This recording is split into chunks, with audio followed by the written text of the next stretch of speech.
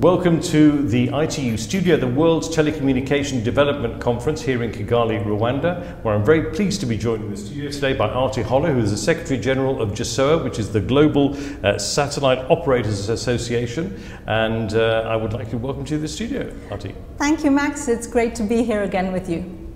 Now, last time we met, you were uh, here as Secretary General of ESOA, which uh, was the EMEA uh, Satellite Operators Association. Now you're here as Secretary General of GSOA. Perhaps you could tell us a little bit about the, this evolution and what has changed. Absolutely. Max, we have expanded to become the Global Satellite Operators Association in view of the fact that connectivity challenges are global and global challenges require a global response.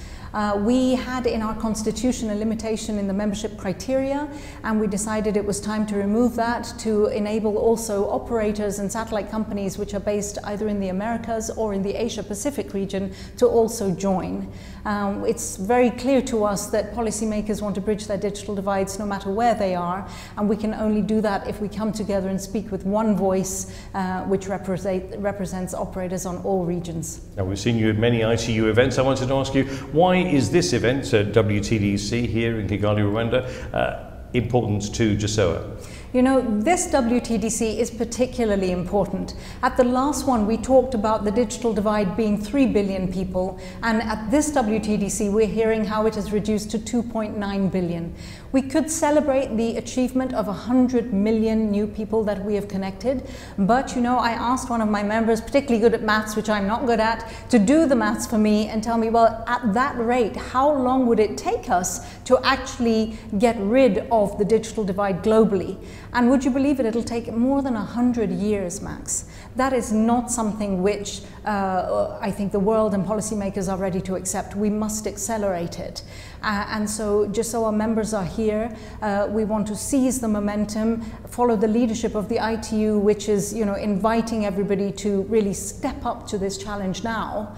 Um, and, and uh, satellite operators are very conscious of, of the responsibility that is incumbent on them to make sure that satellite can play its rightful role in helping to bridge the digital divide. Now, this uh, WTDC has kicked off with a Partner2Connect, and uh, a lot of lot of pledges being made here. Has GSOA made a pledge, and, if so, what, what, what is it? Yes, look, we're very conscious of the fact that uh, climate emergencies and disasters resulting from climate change are on the rise, geopolitical tensions are on the rise, and we're emerging from the pandemic. So it is absolutely at the forefront of everybody's mind that we must bridge the inequalities that exist.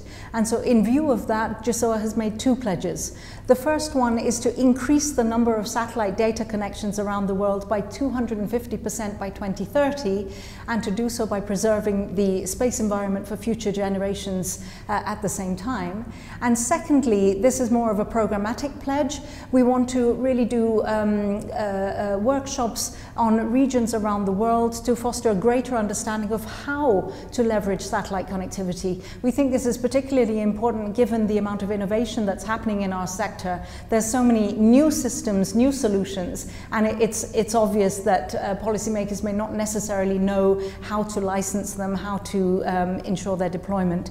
Um, we're also creating the opportunity for our members um, to do trials to demonstrate affordable, meaningful connectivity for LDCs, LLDCs, and SIDS all around the world. Um, we also want to, of course, support more disasters. Uh, it's clear to administrations that satellites are essential when disaster strikes, but nonetheless we see that even in high-risk zones for countries like Mozambique, which has been struck by so many disasters, uh, those countries that still are not prepared. So we want to really enhance that and make sure that countries are very prepared for disasters. And finally, um, we are going to work with the ITU to produce a satellite playbook uh, to collect case studies, best practices, and reference ar architectures for solutions from GSOA members that can be replicated and scaled up in different countries around the world. All of that sounds fabulous and it's very valuable uh, and uh, much needed. Uh, so, well, thank you very much for sharing all of that with us, and uh, we look forward to catching up with you again very soon. And uh, I'm sure uh, we'll be have a lot to talk about next time too.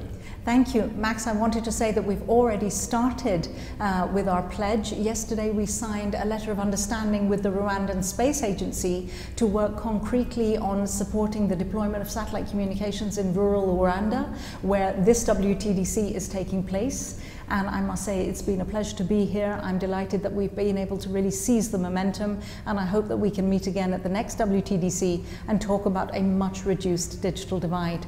Absolutely. Thanks so much. Thank you, Max. Cheers.